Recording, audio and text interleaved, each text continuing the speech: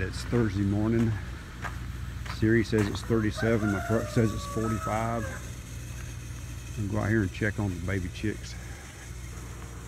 You see the heat lamps are still on.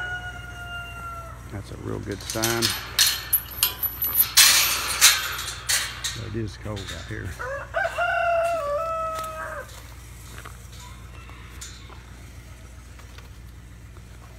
Okay, there's a fair amount of heat in here. Not a whole lot, but some. Well, they didn't get in the house. But clearly they're all huddled up here and there. And I've scared them all to death. Alright, we'll leave them alone. It's good to know that they're all okay. Praise the Lord for that.